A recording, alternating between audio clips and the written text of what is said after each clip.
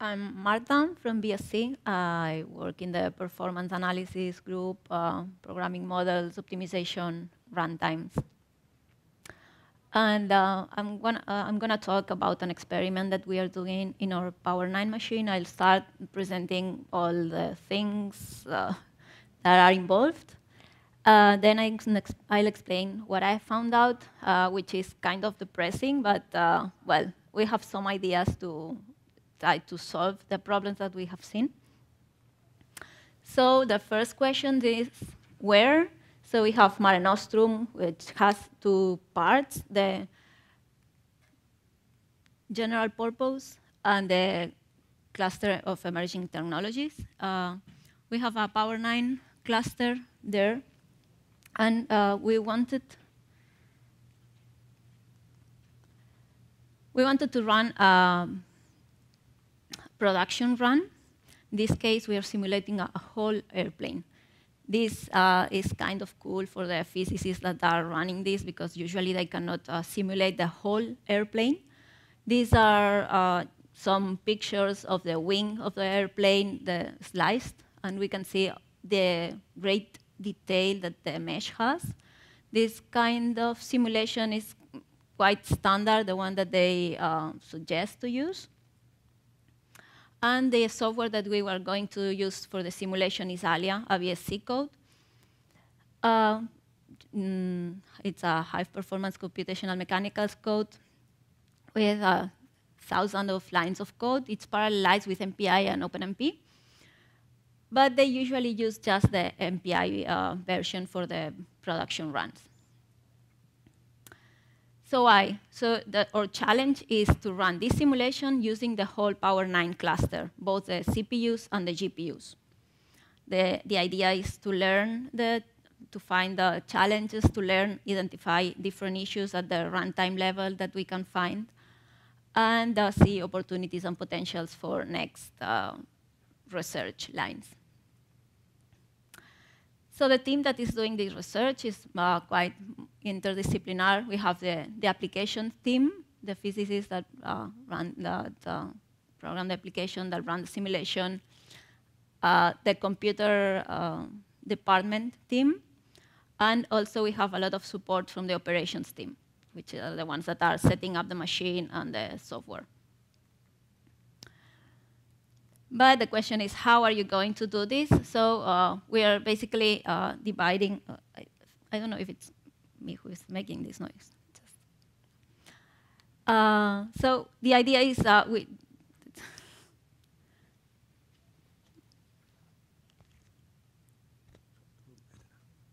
Thanks. The idea is to divide uh, the, the problem. So we always do this, this, with this kind of problems, the mesh is divided in between the different processes. But in this case, we also want to divide it to some of them will run in the CPU and some of them will run in the GPU. And we will also divide it between the different teams. So there's some part of the team who is working in the GPU part, some part of the team who is working in the CPU part, some part of the team who is working uh, in setting everything uh, on the system. So me, I'm, I work on the CPU part. I'll try to find the best configuration between MPI processes and OpenMP threads, to use or not the hardware threads, and basically to, to do the performance analysis of the part of the CPUs. So uh, that's my part. I'll focus on the CPUs. I use the performance analysis tools from BSC, which are Extrae and Paraver, which is basically what you are going to see in this talk, a lot of them. And uh, in this analysis that I present here, I will focus just to keep something um, clear. Is that I focus in 25 uh, nodes of Power 9, which are 1,000 cores.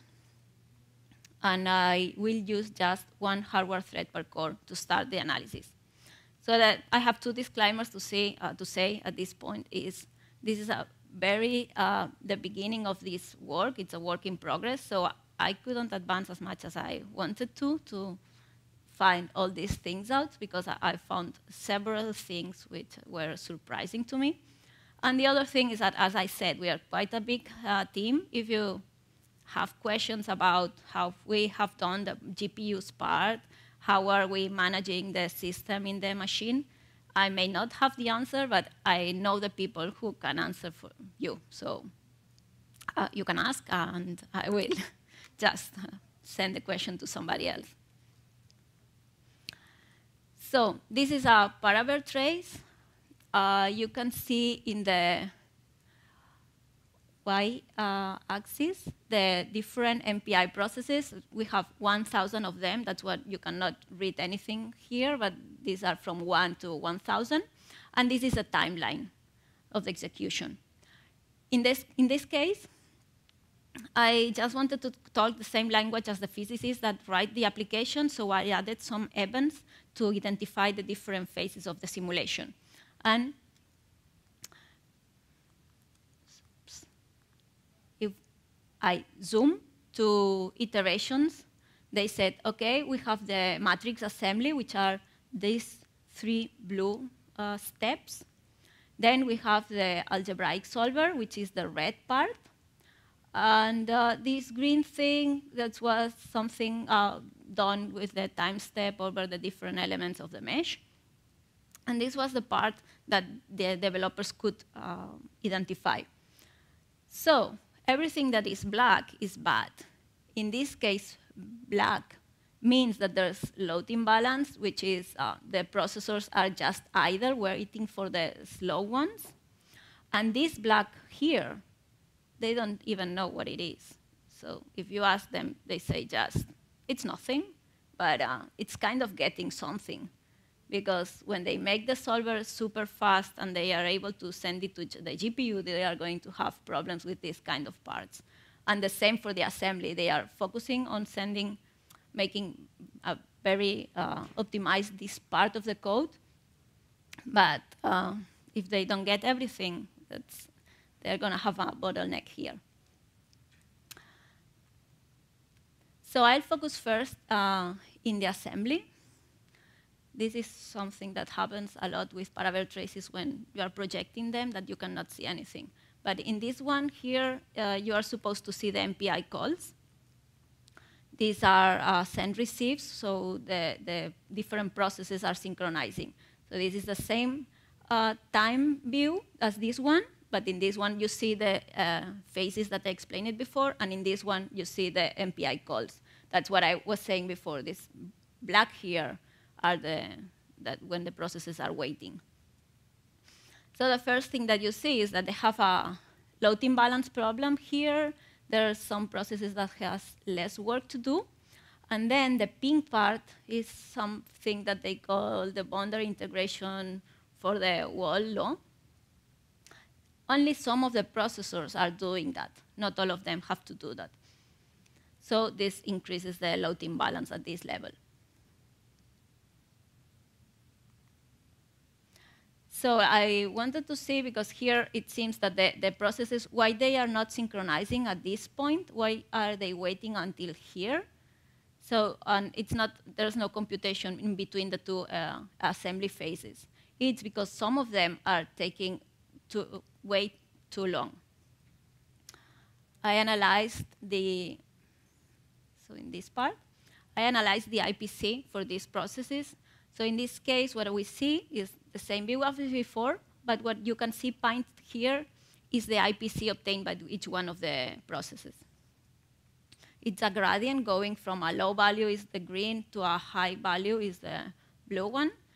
And uh, if I zoom in this part here, where is one of the slowest processors, we can see that its IPC is very low. But it's not something inherent to the computation that it's going there, or uh, going on there, because uh, all the iterations should be the same. And in fact, you see that, that when there's a pattern, this one, it's, it's skipped over the different iterations. Something is going on here, and I obtain different traces. Uh, I in this in this one, I think uh, this was uh, 1.8 and here 1.1, but I have seen places where it was half. So you had IPCs of 2.2 going down to 1.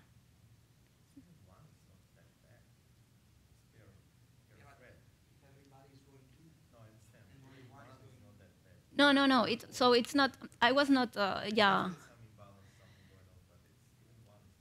No, it's not what, I, I was not uh, evaluating what, how good or bad it was. It's what's like, uh, something is going on here. And it doesn't have to do with the application because we know the code and it should behave the same here than here than here. And this happens randomly in different processes in different nodes. So you, you, take you obtain different traces and uh, it, it, appears, it's like noise, but instead of uh, making uh, lose your computational cycles, what, you, uh, go, what goes down is IPC but the processes are not being preempted. So it's kind of surprising, and I don't have the answer yet. That's why I was saying that this work is really in progress. So uh, this is something I need to sit down with the system guys and see what's going on in the node when I see this in the trace, because this is very strange. But the reality is that when I see this going down to half its value, it means that half of the time that it's computing, it's being just thrown away because all the processes are waiting for the slow one. No, because uh, in the previous uh, in the previous iteration it didn't happen. Yeah, the, this happens for a while, but no. No, because um, I have obtained, I, I, have been looking at it and I have obtained a lot of traces and a lot of, yeah, and just it's quite random. So I, then I obtained an histogram of the IPC.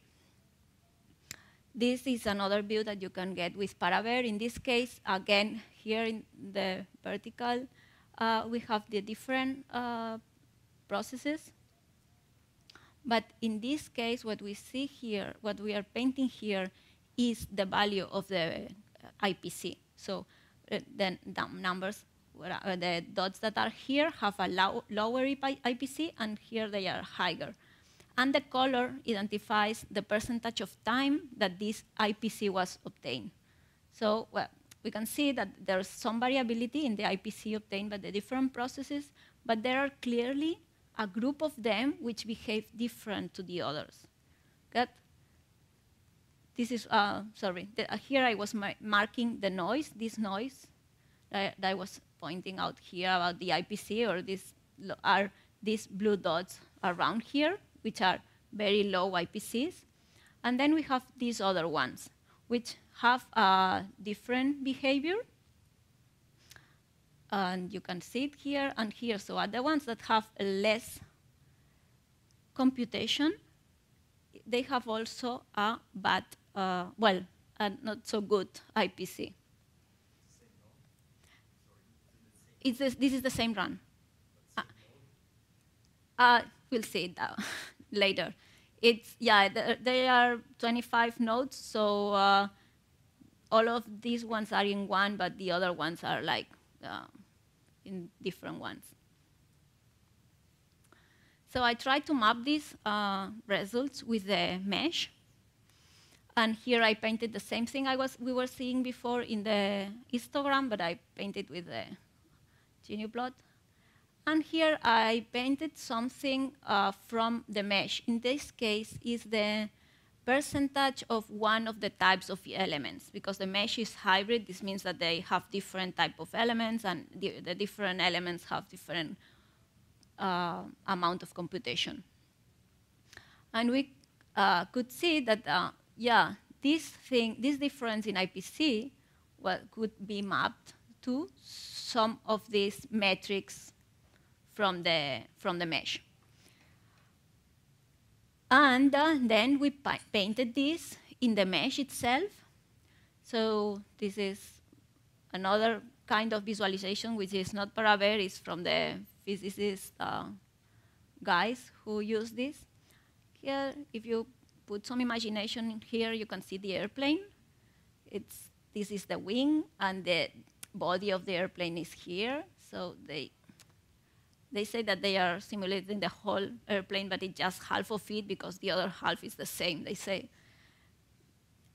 So the thing is that these elements from here are all the ones that are like pink because they are the ones that are not touching the wing or the body from the airplane. So the kind of elements they have are different, which is kind, kind of fun to see that what you really see here has an explanation to the physicists that they, they are solving. So okay, and uh, then I'll I have a look at the solver part. The solver the solver has a very different kind of uh, pattern. It has short computational phases and a lot of uh, collective communication. In this uh, view here, uh, you can see the MPI calls. These purple are all reduced. This is the previous uh, phase that I was showing. So red is computation, com making a vector matrix multiplication, I think. And then it's uh, all that uh, short computation and all reduce. If we zoom to a couple of uh, iterations, we can see that the, the imbalance pattern is very similar to the one that we saw in the assembly part.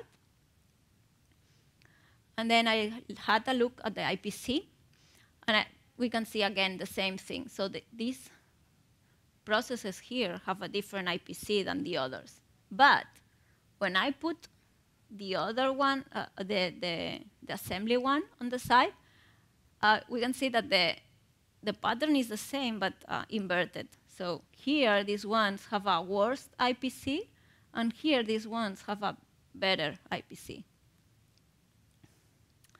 And uh, again, if we put it with the geometry, it kind of matches, except for these things that go up here that look like horns, which I didn't know what uh, this is, was going on and it had to do with the nodes, as you were pointing out before.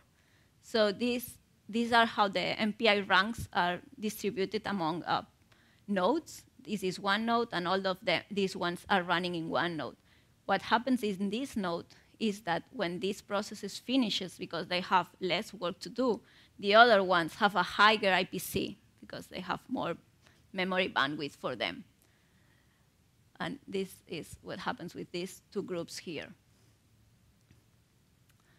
So if we go even closer, looking inside, we also saw this. This is a view of MPI calls. The red ones are I receives, and the pink ones are, uh, sorry, the red ones are I sends, and the pink ones are I receive. And they do a lot of them, and they seem to go all well, except for the, some ones that took too long because they are I receives. That must be very, very fast. This is something that uh, seems that it has something to do with the Open MPI version we were using. We changed uh, the MPI version to MPICH, and this effect disappeared. So something related to the implementation, probably. We can look more in detail in which parameters we were using but it's kind of uh, surprising. And also, we saw again the variability in the IPC. If I this paint the IPC here, you can see that some processes that were running well, at some point their IPC drops. And I, I saw that it even drops to uh, half of its value. So up to now, I saw that there was some imbalance that was inherent to the partition and that the, the application tried to solve but didn't manage to. Even if they were able to solve that, that imbalance, there would be a problem because the IPC in the two phases were different for the different elements. So even when you had one partition balance for the assembly, the solver will be probably unbalanced. We also saw, saw, that they have a problem with Amdahl's law, that they need to parallelize everything if want to, they want really to scale. The, the variability in the IPC, that we don't know when it's going to happen, and it's uh, unpredictable.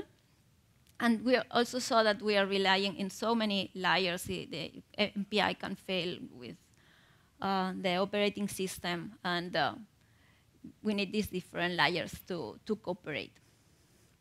So this is, uh, at this point, is that what I see in my head is like, uh, okay, we have uh, the performance. The applications guys claim that they can scale up to 1,000 of cores. The tools claim that they can uh, scale up to 1,000 of cores. And everybody is inflating this balloon, but then if one thing goes wrong, everything is just broken because you, you lose a lot of uh, computational power here. You're using a lot of cores, and all of them are just being used for nothing. But our idea is just how we can protect this. Uh, and our idea is just not try to fight this. We cannot uh, debug every single version of MPI, and uh, we cannot do this for every new machine that we try or every single code.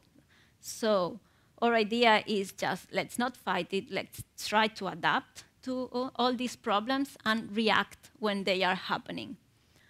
So one of the tools that we want to try, and as I said before, just work in progress, I just was able to obtain a couple of traces using it. It's a dynamic, load balance, which uses the threads that are not being used because the computation has already finished by other processes. These are two traces, the original one and one using uh, DLB. And I have not measured it, but you can see the difference with what was here. Now it's uh, around here. I make a zoom so that we can understand a bit better what's going on. This is the zoom that it's happening just inside one of the nodes. And one of this was one of the fast processes that doesn't have uh, as much computation. So when this one finishes, its uh, core goes here and can help this process here. And this happens uh, all the way uh, around here. And this way we can speed up the execution. We also think that the way to go is uh, to think through uh, to throughput-oriented computing. Just don't try to parallelize everything, but try to overlap things. We need to change the programmer's mind and let make them forget about resources, about scheduling, about uh, all these things. Just they need to focus in the logic of the program so that the computation is correct and let the runtime systems and the different layers do their job and make the, a good use of resources. Because if you uh, hard code things in the codes, it means that you need to change that everything. You need change a machine or you change something in all the layers. So, by the way, if somebody was just uh, listening to me and was just hearing blah, blah, blah, but seeing quite nice pictures. we have also this um, COE, which uh, is a POP that finished recently, but we have the second one coming soon, where we do this kind of analysis to perfor of performance analysis. So if uh, you are interested in getting the analysis of your application, we can do also this in the context of this project thank you. And if you have any question.